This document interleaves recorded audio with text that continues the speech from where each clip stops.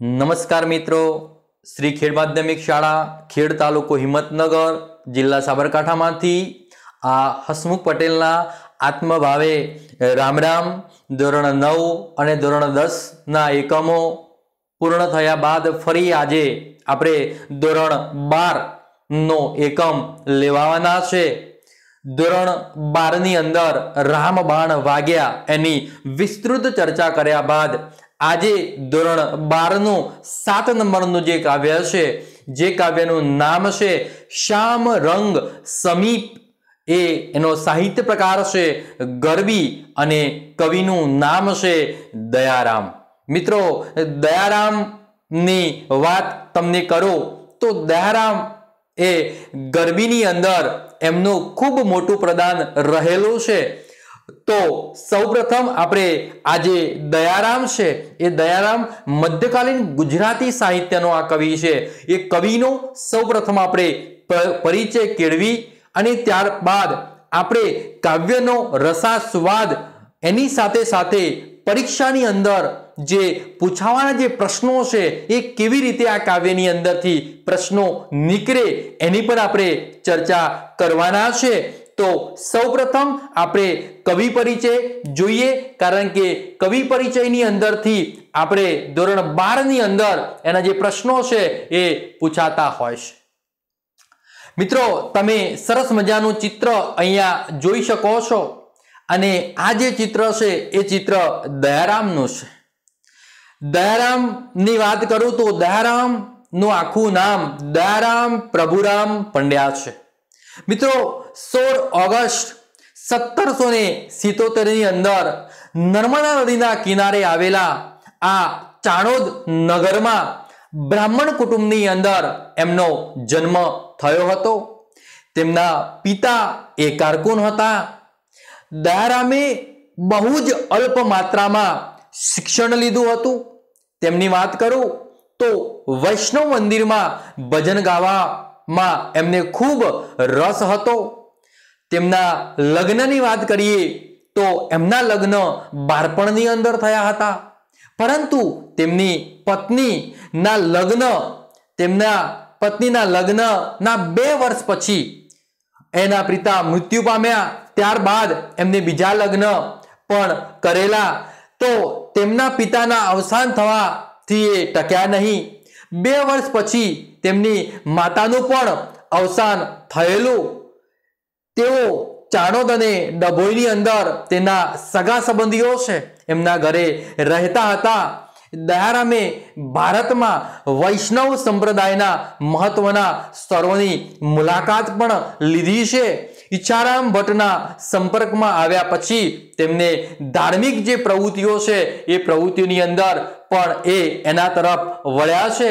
ત્યારબાદ દયારામની વાત કરીએ તો એમનું જે કાર્ય છે, એ કાર્યની થોડીક વાત કરું તો દયારામની જે ગરબી છે, એટલે ગરબી શૈલીની અંદર એ સૌથી વધારે મધ્યકાલીન ગુજરાતી સાહિત્યમાં એમને ગીતો રચનાર એ પ્રથમ મધ્યકાલીન ગુજરાતી કવિ હતા.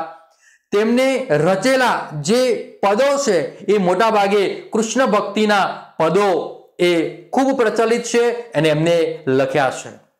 મિત્રો, સાહિત્યમાં ખૂબ ઓછું છે, પણ સરસ મજાનું સાહિત્ય એમનું છે. શ્યામ રંગ સમીપે ન જાવું, હવે સખી નહીં બોલું. ઓ વ્રજ નારી. અને એ ખૂબ જ પ્રખ્યાત છે અને એક સરસ મજાનું પદ આજે પણ ધોરણ દસની અંદર, જૂના અભ્યાસક્રમની અંદર હતું, દયારામની ગરબી. ઝઘડો લોચન મનનો જોરદાર કાવ્ય ની અંદર એમને રજૂઆત કરી છે. આ તબક્કે મારે કહેવું છે કે ચોક્કસ હું કહીશ કે દયારામે જેટલા પદો લખ્યા છે ને, એ મોટા ભાગે ઝઘડાના પદો છે. અને ઝઘડો પણ કેવો? મીઠો ઝઘડો. કેવો ઝઘડો? મીઠો ઝઘડો. વજ્રનારી ને પેલી વાંસરી સાથેનો ઝઘડો, લોચનનો મન સાથેનો ઝઘડો કે શ્રી કૃષ્ણ સાથે સૌપ્રથમ પ્રીત કોણે કર્યું છે? એમ ઝઘડાની જે વાતો છે અને આજે આપણે જે કાવ્ય ભણવાના છે એ થોડુંક રિસામણું છે. શું છે? રિસામણું છે. ઝઘડો તો છે, પણ મીઠો છે. તમે જોજો, આખું કાવ્ય આપણે ભણીશું. ત્યારે ચોક્કસ તમને ખ્યાલ આવશે કે આ જે રિસામણું છે એ કોનું છે? ગોપીનું છે. અને શા માટે રિસાઈ છે? કે જે સૌથી વધારે કૃષ્ણને પ્રેમ કરે છે. જે સૌથી વધારે પ્રેમ કરતું હોય ને, એ જ ઝઘડા પણ કરતું હોય. એ રિસાતું પણ હોય. બરાબર ને? તો જોઈએ એમનો પહેલી પંક્તિની અંદર અહીંયા આપણને કીધું છે કે ગોપી રિસાઈ છે. ગોપીને ખૂબ પ્રેમ છે કૃષ્ણ પ્રત્યે. પણ ગોપીને વારંવાર તો કૃષ્ણ મળવા ન આવી શકે. બરાબર? અહીંયા ગોપીને થોડુંક ખોટું લાગ્યું છે એટલે ગોપીએ નક્કી કર્યું છે કે કૃષ્ણનો રંગ કેવો હતો બેટા? શ્યામ હતો, કાળો હતો. એટલે એને કીધું કે હવે તો શ્યામ રંગ છે ને એના સમીપે જવું. નથી. કૃષ્ણના સમીપે તો જવું જ નથી. સમીપે એટલે બેટા પાસે. કૃષ્ણની પાસે તો જવું નથી, પણ હવે જે જે શ્યામ રંગની જે વસ્તુઓ છે, એ શ્યામ રંગની વસ્તુઓ પ્રત્યે પણ હવે મારે જવું નથી. એવું આખા કાવ્યની અંદર સમજાવ્યું છે ને કઈ કઈ શ્યામ વસ્તુઓ છે, એની પણ કવિ દયારામે આ ગરબીની અંદર સુંદર રજૂઆત કરી છે બેટા. તો પહેલી જ પંક્તિની અંદર કહેવામાં આવ્યું છે કે શામ રંગ સમીપે ન જાવું? મારે આજ થકી શ્યામ રંગ સમીપે ન જાવું. આજ થકી એટલે આજથી મેં નક્કી કર્યું છે કે જ્યાં જ્યાં જ્યાં શ્યામ રંગ હશે ને, શું હશે બેટા? જાજા શ્યામ રંગ. કારણ કે કૃષ્ણનો કેવો રંગ હતો? શ્યામ રંગ હતો. તમે જોઈ શકો છો ફોટોગ્રાફ્સની અંદર કે રાધા તેની સતત એની જોડે રહેતી હતી. પણ અહીંયા તમે જોઈ શકો છો કે શ્યામ રંગ સમીપે હવે કંઈક એવું બન્યું છે, કોઈક એવો ઝઘડો થયો છે, એટલે રિસામણું થયું છે, નક્કી કર્યું છે કે હવે તો મારે શ્યામ રંગ જ્યાં જ્યાં મને દેખાય, ત્યાં ત્યાં મારે, કારણ શા માટે એની પણ ચર્ચા કરે છે. પણ એ આખા કાવ્યની અંદર આવશે હું તમને સમજાવું છું ધીમે ધીમે, કે મારે આજ થકી શ્યામ રંગ ન જાઓ મિત્રો, અહીંયા મારે તમને કહેવું છે કે પરીક્ષાની અંદર સમાનાર્થી શબ્દ પૂછાય તો શ્યામ એટલે કે કાળું અને સમીપ એટલે કે પાસે. મિત્રો, અહીંયા તમે જોઈ શકો, એક વિશેષણ પણ તમારે પૂછાય છે કે શ્યામ રંગ સમીપે ન જાઓ મેં સરસ મજાનો વીડિયો વિશેષણનો મૂક્યો છે, તમે જોજો બારમા ધોરણના વિદ્યાર્થીઓ માટે. તો એની અંદર છે કે શ્યામ રંગ સમીપે ન જાઓ તો શ્યામ જે છે એની અંદર તમારે વિશેષણ શોધવાનું હોય, તો તમે અહીંયા એ વિશેષણ છે. એનો કયો પ્રકાર છે? તો એ રંગવાચક છે, બરાબર? તો આવી રીતે વિશેષણ શોધતા પણ બેટા તમને આવડવું જોઈએ. અને વિશેષણમાં કોઈ તકલીફ હોય તો મેં અહીંયા સરસ મજાનો વિશેષણના ઉદાહરણો સાથે એના પ્રકારો સાથે સરસ મજાની સમજૂતીનો વીડિયો મૂક્યો છે. તમે જોઈ લેજો. બેટા અહીંયા કીધું છે કે મારે આજ થકી શ્યામ રંગ સમીપે શું કરવું? જવું નથી. અહીંયા મેં તમારે ધોરણ બારની અંદર સમાનાર્થી શબ્દ એક નથી પૂછાતો. તમારે સમાનાર્થી એકના બે પૂછાય છે. એટલે તમારે જોડવાનું હોય છે. એટલે તમારે યાદ રાખવાનું. શ્યામ એટલે કાળું એ થાય અને કાળું એટલે કૃષ્ણ. એટલે ત્રણ તમારે શોધવાના થાય. કૃષ્ણને પણ કાળું અને શ્યામ. શ્યામ, કાળું અને કૃષ્ણ આ રીતે તમે લખી શકો છો. ત્યાર પછી આગળની જે પંક્તિ છે, એ પંક્તિની અંદર થોડીક વાત કરીએ, કારણ કે ગોપી રિસાઈ છે. અને નક્કી કર્યું છે કે મારે જ્યાં જ્યાં કાળો રંગ હોય ને, ત્યાં જવું નથી. કેમ? મેં તમને કીધું હતું ને, હવે હું તમને સમજાવું. કે જેમાં કાળાશ તે તો સૌ એક સરખું. સર્વ કપટ હશે આવું મારે. શું કહે છે? જે વ્યક્તિની અંદર કાળો રંગ છે, એ તો બધા જ સૌ એટલે બધા જ એક સરખા માણસો. કારણ કે બધામાં સર્વ કપટ હશે. બધા વ્યક્તિઓમાં જેવું કૃષ્ણએ કપટ કર્યું છે, કારણ કે એનો રંગ કેવો છે? કાળો છે. અને એ જો કપટી હોય, તો જેટલી કાળી વસ્તુઓ છે, જેના રંગ કાળા છે, એ બધા જ વ્યક્તિઓ, એ સર્વ વ્યક્તિઓ કપટી છે. કેવા છે? કપટી છે એવું ગોપીને લાગે છે. એટલે ગોપી નક્કી કર્યું છે કે કાળી વસ્તુને મારી જોડે આદા દેવી નથી. તો સૌપ્રથમ કઈ વસ્તુ કાળી? અહીંયા ગોપી ત્યાગ કરે છે. પ્રશ્નની અંદર પણ તમારે આવશે, એટલે ધ્યાન આપજો અહીંયા કહે છે કે કસ્તુરી કેરી બિંદી. અહીંયા છ કપટ એટલે છળ અને પ્રપંચ એવું પણ તમે લખી શકો. અને અહીંયા શબ્દ છે, પછી કહે છે, કઈ કઈ વસ્તુઓ? તો કસ્તુરી કેરી બિંદી તો કરું નહીં. કસ્તુરી કેરી બિંદી એટલે બેટા કસ્તુરી એટલે અમુક જાતના હરણની ડુંટીમાંથી મળતો એક સુગંધીદાર જે પદાર્થ હોય, એને કસ્તુરી કહેવાય. અને એ કસ્તુરીની જે બિંદી છે, એ બિંદી એ કેવા પ્રકારની છે? કાળી છે. એટલે હવે એ હું બિંદી લગાવીશ નહીં. ત્યાર પછી કવિ આગળ આપણને સમજાવે છે કે કાજળ આંખમાં અંજાવું. કાગળ, કાજળ જે છે, અહીંયા બિંદી નો અર્થ તમારે લખવો હોય તો લખી શકો કે નાનો ચાંદલો. શું લખી શકાય? નાનો ચાંદલો. અહીંયા શબ્દ છે, તમે જોઈ શકો છો. ત્યાર પછી બીજી પંક્તિમાં શું કહે છે કે કાજળના આંખમાં અંજાવું. કાજળ એટલે શું કહેવા માંગે છે? અહીંયા આપણને સમજાવ્યું છે કે કાજર એટલે શું? તો કાજર એટલે બેટા આંખની અંદર જે આપણે નાખીએ છીએ, દાખલા કે નાનું બાળક હોય, એને આમ તો કાજર એટલે આંજણ કહેવાય. સમાનાર્થી શબ્દ પૂછાય, તો તમારે લખવાનું. કાજર એટલે આંજણ. હવે એ જે આંજણ છે ને, એ આપણે ક્યાં નાખીએ છીએ? નાના બાળકો હોય, એના, એ બાળકો જે છે, એ બાળકોની આંખોની અંદર આપણે નાખીએ છીએ. શું કરીએ છીએ? નાના બાળકો હોય, એમની જે આંખો હોય ને, એ આંખોની અંદર આપણે આવું જે આંજણ છે, એ આંજણ શું કરીએ છીએ? નાખીએ છીએ.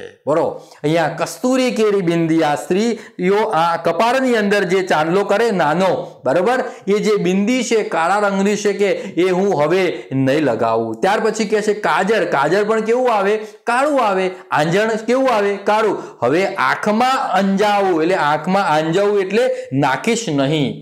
હવે હું જે કાળું, આ જે આંજણ છે એ હું આંખમાં નાખતી હતી, એ પણ હવેથી હું નાખીશ નહીં. એટલે દરેક જે જે કાળી વસ્તુઓ છે, બધી જ કપટી છે કૃષ્ણની જેવી, એટલા માટે બિંદી પણ નહીં કરું, કાજર પણ મારી આંખની અંદર નહીં નાખું. એમ કહેવામાં માગે છે. અહીંયા તમે જોઈ શકો છો કે તમારે નિપાત પણ પૂછાય છે. મેં નિપાતનો પણ સરસ મજાનો વીડિયો બનાવ્યો છે.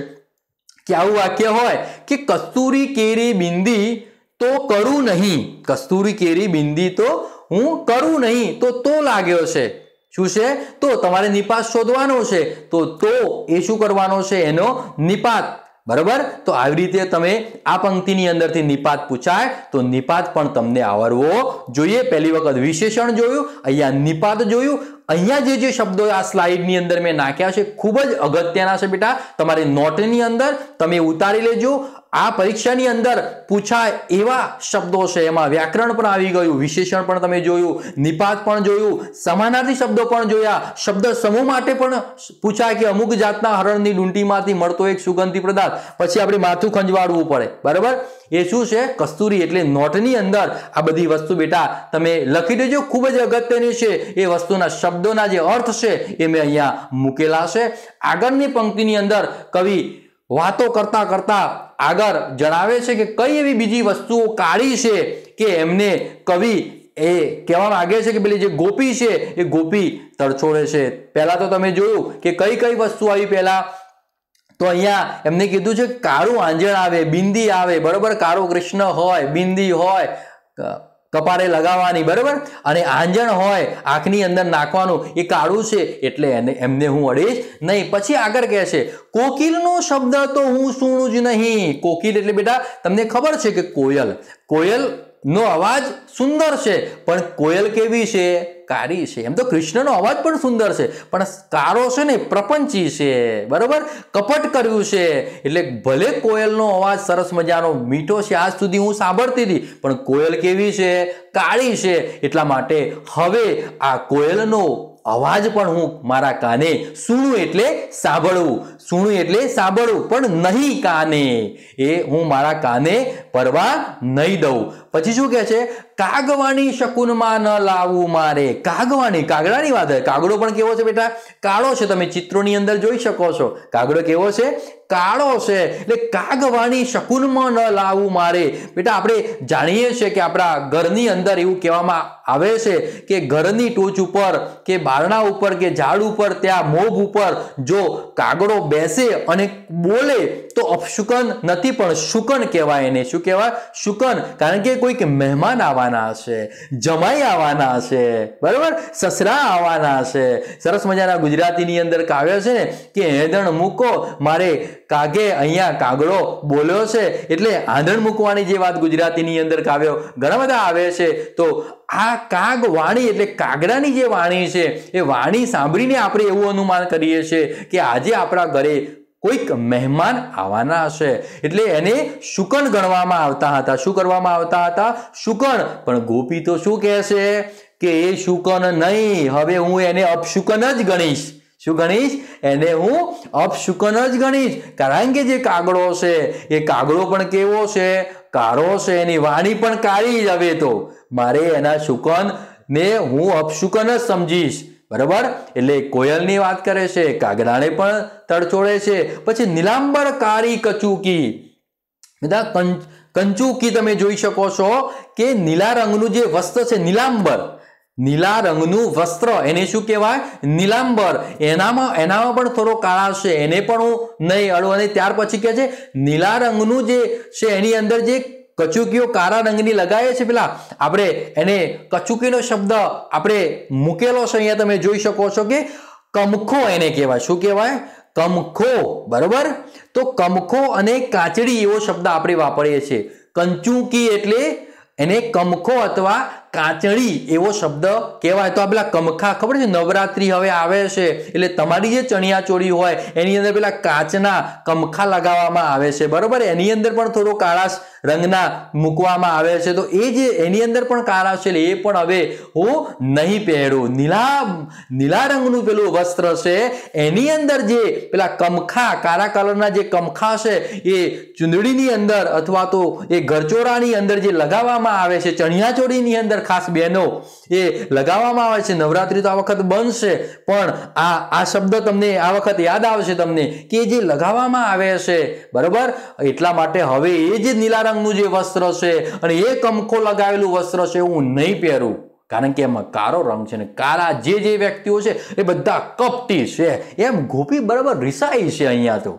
બહુ જોરદાર રિસાઈ છે. હવે તો શું કહે છે કે આનાથી વિશાળ વાત કરે છે કે જમનાના નીરમાં ન ના હું અહીંયા તમે ફોટોગ્રાફ જોઈ શકો છો. જમના નદીનો ફોટો મેં મૂકેલો છે. કે જે જમના નદી છે એ જમના નદીમાં તો હવે હું શું કરીશ? હવે હું નાહીશ નહીં એવું કહેવા માગે છે. તો અહીંયા કહે છે કે જમનાના નીરમાં ન નાવું. બેટા, નીર એટલે કે પાણી. બરાબર? એને જળ પણ કહેવાય, એને વારી પણ કહેવાય. નીર, જળ અને વારી. હવે તો જમનાનું જે નીર છે ને, એ એની અંદર સૌથી વધારે કૃષ્ણ રહે છે. તો હવે તો જે જળ છે, એ એની અંદર પણ હવે તો હું નાહીશ નહીં. એમ કરીને અહીંયા જે ગોપી છે, એ ખૂબ ખૂબ કંટાળી છે, આ કૃષ્ણથી ખૂબ રિસાઈ છે. તો આ જે શબ્દો છે બેટા, એ શબ્દો તમે લખજો. આગળ પણ આપણને કહેશે કે મરકત મણીને મેઘ દ્રષ્ટે ન જોવા. જાંબુ વંત્યાક નંખાવું મારે દયા પ્રીતમ. અહીંયા સરસ મજાની વાત કવિ આપણને કરી છે કે મરકત મણી મેઘ પણ કેવો છે? કાળા રંગનો. મેઘ એટલે વરસાદ. અને વાદળ પણ થાય. વાદળ કેવું છે? એ કાળા રંગનું છે. મરકત મળી એટલે નીલા રંગનું. અહીંયા એ મળી આવે છે. અહીંયા એનો શબ્દ આવ્યો છે. અહીંયા તમે જો મેઘ. મેઘ જે વાદળના જે કટાકા છે અને પછી એની અંદરથી શું પડે છે બેટા. વરસાદ પડે છે. એટલે મેઘ દ્રષ્ટિ ન જોવે તો મેઘ તરફ હું જોઈશ પણ નહીં. એવું અહીંયા કહેવા માગે છે. પછી કહે છે કે જાંબુ વંત્યાક ના ખાવું ના ખાવું શબ્દ છૂટો પાડવાનો છે. ભેગો લખાઈ ગયો છે. જાંબુ વંત્યાક ના ખાવું મારે. હવે તો જાંબુ એ કયા કલરનું આવે છે બેટા? તમે સૌ જાણો છો. એનો કલર પણ કેવો છે? કાળો છે. કેવો છે? કાળો છે. તમે અહીંયા જોઈ શકો છો.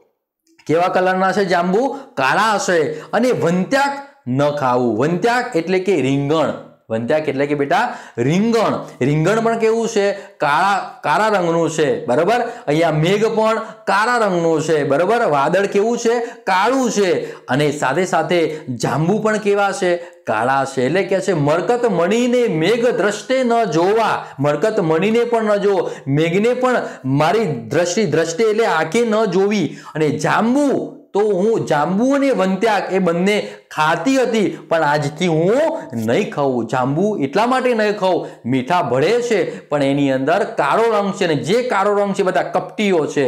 વંત્યાક એટલે કે રીંગણ. વંત્યાક એટલે કે રીંગણ. એ રીંગણને પણ એ રીંગણને પણ આપણે શાકભાજીની અંદર આપણે રીંગણનું શાક ખાઈએ છીએ ને, એને વંત્યાક શબ્દ વાપર્યો છે, તો એ રીંગણને પણ હું નહીં ખાઉં. એમ કવિ કહે છે કે દયાના પ્રીતમ સાથે મુખે નીમ લીધો. દયાના જે પ્રીતમ છે, દયાના પ્રીતમ એટલે કોણ? તમને પ્રશ્ન આવે પરીક્ષાની અંદર કે દયાના પ્રીતમ એટલે કોણ? તો દયાના પ્રીતમ એટલે કૃષ્ણ ભગવાન. કોણ?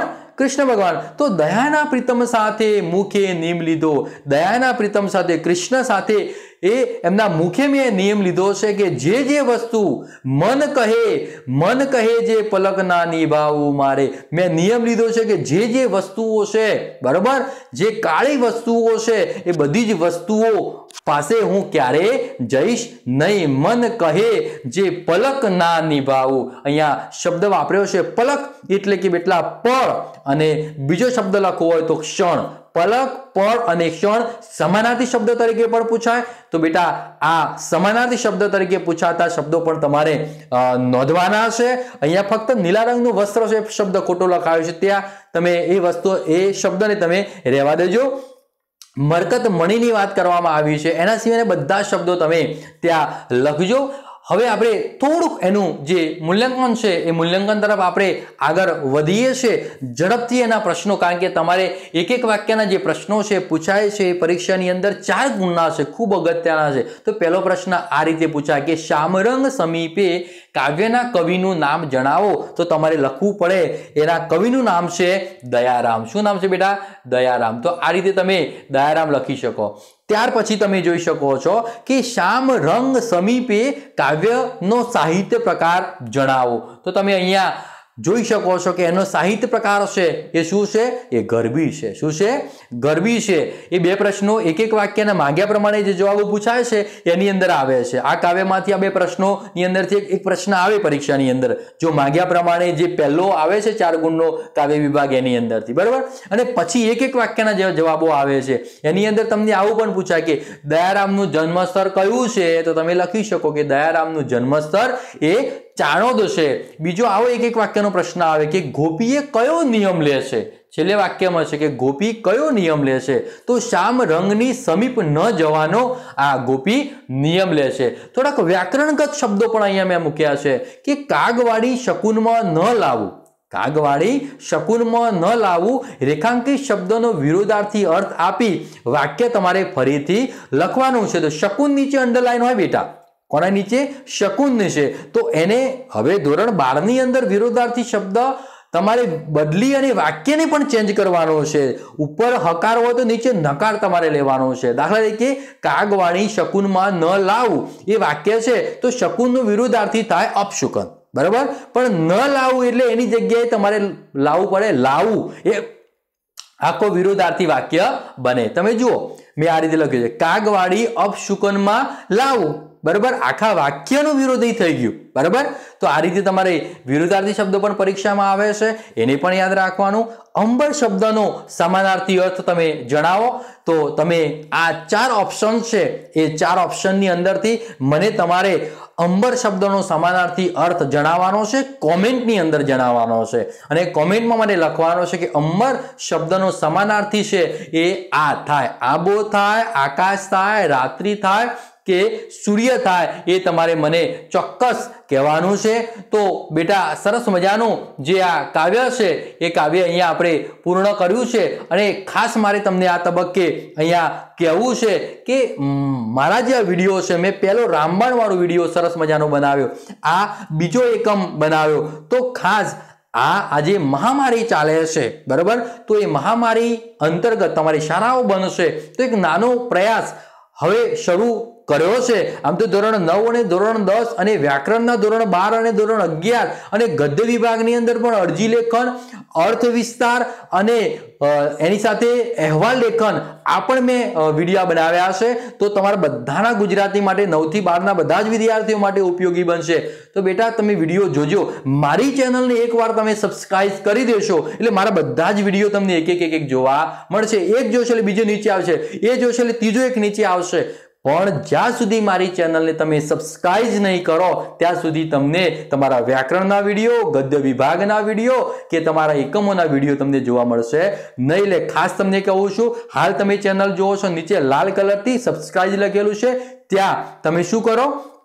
ક્લિક કરો તો તરત જ તમે મારા મેમ્બર બનશો અને મારા બધા જ વીડિયો તમને જોવા મળશે. મિત્રો, ખાસ આ તબક્કે મારે તમને કહેવું છે કે તમારા જે સગા સંબંધીઓ છે, તમારા જે મિત્રો છે, એ મિત્રો જોડે જો આ લિંક પહોંચાડવાનો આપણે પ્રયત્ન કરવાનો છે. તો આ શહેર ત્યાં કરો. એટલે બાળકોને પણ આ સમયમાં જે સારા બનશે. તો આપણે એક ઉપયોગી બનીએ, ભગીરથ કાર્ય કરીએ. બેટા, આપણે એકલા જોઈએ બરાબર? અહીંયાથી મેં બનાવ્યું છે, બધા માટે વીડિયો બનાવેલો છે, બરાબર? તો તમે પણ તમારા મિત્રોને, તમારા સગા સંબંધીઓને જે જગ્યાએ તમારા કોન્ટેક હોય, તે આ વિડીયોને તમે શેર કરો, એ શાંતિથી અભ્યાસ કરી શકે અને આવી એકમ કસોટીઓ, હવે ધોરણ અગિયાર અને બારની અંદર તમારે નેક્સ્ટ ટાઈમ કદાચ ગુજરાતીની એકમ કસોટી આવશે, એટલે હવે બધા એકમો તમારે તૈયાર કરવા પડશે, એની અંદરથી તમારા બધા પ્રશ્નો આવશે.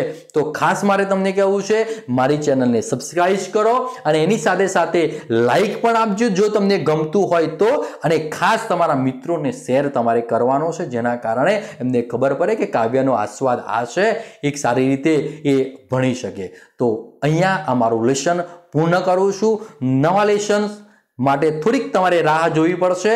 એ આપણે ગદ્ય વિભાગનું સંક્ષેપીકરણ કાં તો પદ્યાર્થ, કાં તો ગદ્યાર્થ આ એકમો આપણે મૂકવાના છે. ત્યાં સુધી આ હસમુખ પટેલને આ અહીંયા હસમુખ પટેલના રામ રામ.